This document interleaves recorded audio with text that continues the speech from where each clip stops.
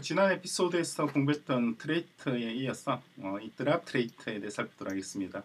어, trait들 중에서 아주 대표적인 trait 중에 하나입니다. 여기 어떻게 동작하는지 같이 한번 보시면 이전에 공부했던 우리 에피소드들에 대한 이해 폭을 아주 깊이 넓힐 수가 있어요.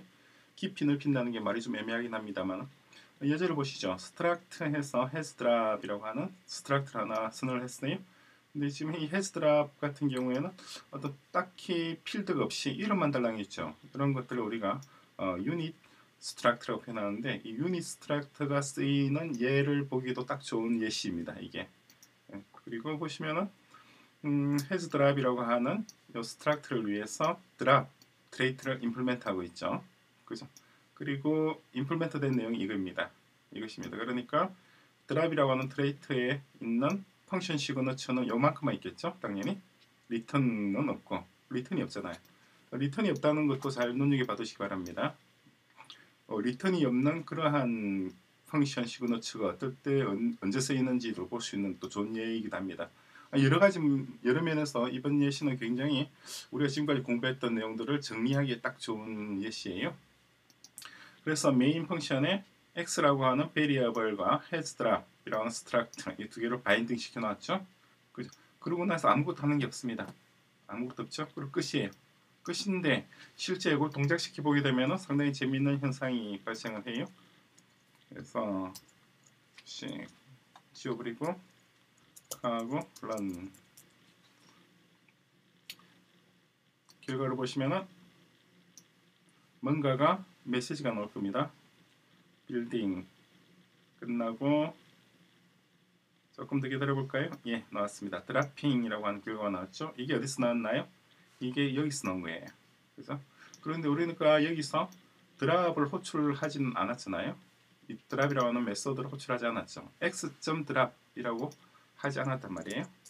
x.drop 이렇게 했다고 하면은 그러면은 당연히 이렇게 나와야 되겠죠. 그런데 그렇게 하지 않아도 여기에 이렇게 예, 메시지가 출력되는 이유는 뭐냐니까 이 drop trait의 drop trait의 drop이라고 하는 method signature되어 있는 이 부분 있잖아요. 얘가 호출되는 것은 자동적으로 호출합니다. 누가 호출하냐니까 Rust라고 하는 언어 엔진이 호출을 해요. 언제 호출하냐니까 어떤 variable이 어, 자신이 정의된 자기가 declare 된 것이죠. declare and implement x입니다. 그죠? 이 x를 이 declare x가 declare 된 블럭이 어디예요? 이 블럭이잖아요.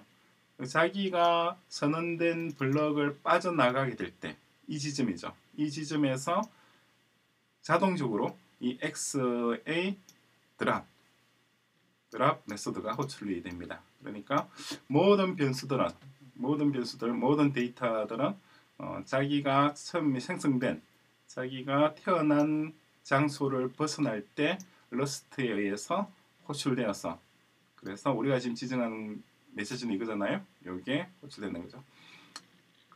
당연히 이 드랍이라고 하는 메소드는 요거만 있는 게 아니에요. 어, 메모리에서 이 x를 지우는 일련의 예, 코드들이 있습니다. 눈에 보이진 않죠. 그러니까 there are code to deallocate allocate uh, x from memory 그죠? 그는 또 상당히 중요한 내용이 또 하나 음, 내포되어 있습니다. 어떤 의미냐니까 우리가 이 드랍을 임플멘트 할 때 드랍이라고 하는 것은 트레이트입니다. 드랍 is a, a trait 그리고 그의 모든 every which every variables should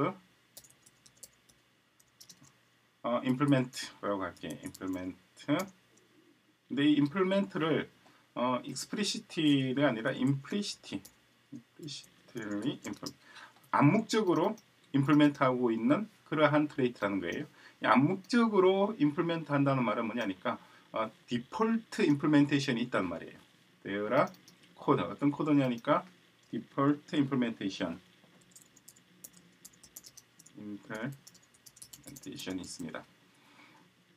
그러니까 굳이 우리가 어, 요 뭐예요? 이 드랍에 대해서 어, 구구절절이 적지 않더라도 우리가 추가한 거는 이것만 추가한 거예요. 이건 우리가 추가한 겁니다. 어, this line is added by us. 우리가 추가한 거예요.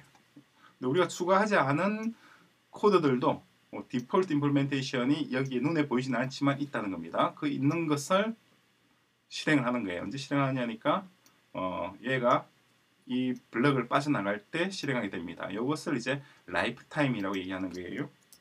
life time. 아주 중요한 개념입니다. life time이라고 하는 것은 Rust에서 가장 중요한 개념이에요. 또 life time이 동작하는 메커니즘이 바로 이겁니다. 이해가 되시나요? 이 부분은 우리가 지금까지 공부했던 내용으로 여러분들이 아마 충분히 이해를 할 수 있어야 될 거예요.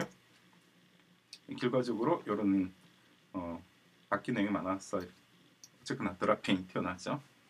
여기 없으면 그러면은 이 주율이 없으면은 이 drop이 호출되지 않느냐? 마찬가지입니다. 없다 하더라도 호출이 돼요. Rust가 자동으로 호출합니다. 아무것도 없지만은 이 drop trait에 어, 설정되어져 있는 이미 작성되어 있는 그러한 default implementation 그죠? 그것들을 모든 variable이 암묵적으로 다 implement 하고 있기 때문에 언제나 다 호출되게 됩니다. 그것이 Rust의 메모리 관리 life time의 기본적인 동작 메커니즘이에요. 다른 예도 하나 보겠습니다. firework, firework에서 strength i32 있고 어, for firework 얘에 대한 이번에는 여기 뭐가 있어요. 그래서 이렇게 되어 있죠. 어떤 내용인지 금방 이해가 되시죠? 그런 다음에 메인 이렇게 되어 있습니다. 마찬가지로 drop method로 호출하는 건 없어요.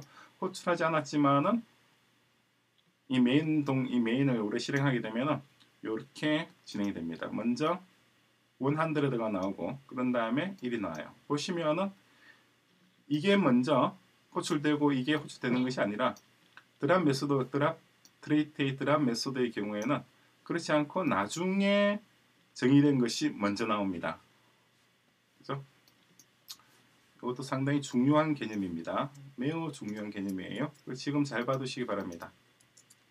앞으로 우리가 다른 공부들 중급 2년차 공부를 하거나 중급 3년차 공부를 할 때 이런 개념이 아주 중요해요. 보시면 boom times 100 다음에 1 나왔습니다. 100는 이것에 의해서 촉발된 거고 1은 여기, 이것에 의해서 촉발된 거죠. 그래서 나중에 last last input first out 그래서 나중에 들어간 것이 먼저 나온다. 즉 메모리에 우리가 나중에 스택 같은 공부를 하게 됩니다. 스택에 메모리에 쌓이는 순서가 얘가 먼저 쌓이고 그죠? firecracker라고 하는 이름과 그리고 이러한 object가 메모리에 들어가게 되고 그리고 이어서 또 얘가 들어가게 되죠. 그죠? 그런데 나오는 것은 얘가 먼저 나오고 얘가 그 다음에 나오게 되는 거죠. stack and heap 시간에 조금 더 자세히 다루게 될 겁니다. 자, 그것이 이것이 어, drop trait에 대한 설명입니다. 아주 중요한 내용이고 그리고 요 예제가 아주 짧은 예제입니다만은 내포하고 있는 의미가 굉장히 많아요. 그래서 천천히 이번 에피소드에서 제가 설명드린 내용은 완전히 전부 다 이해를 하셔야 됩니다.